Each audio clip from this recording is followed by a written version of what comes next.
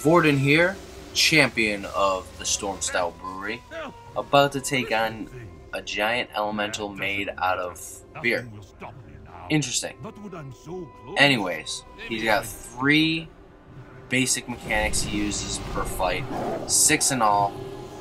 I was kind of hoping that they'd implement all six throughout the fight and make things a little bit more interesting, but it is what it is. Um, can't make things too difficult because players will bitch that things are too hard. Basically, he has his three abilities. One's right there, it's called Bloat. You get beer pouring out of your ears, and you do damage to the people around you. The second one is that Yeasty Brew Elemental. That just heals him with that little red tether. You just gotta kill it. You kill it and that's it. The other two, or the other ability, is the yellow walls that you just saw. Basically, you jump over those. They don't do too much damage. I mean, they do a little bit. They stun you. That's about it. Nothing too crazy. Rinse and repeat, and then he'll die reap the epic loots. That's it. Alright. Well, I'm gonna let this play out until I kill him. And like and favorite. Peace.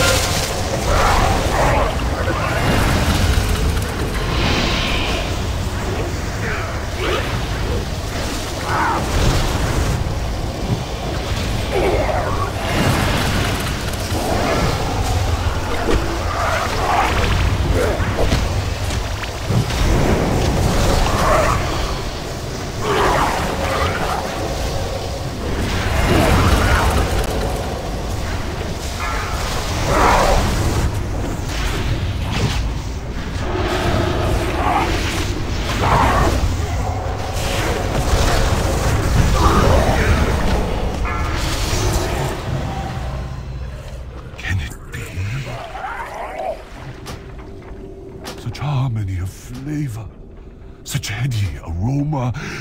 It is the perfect brew. The name of Stormstout will be sung once again throughout the hills. Uncle Gao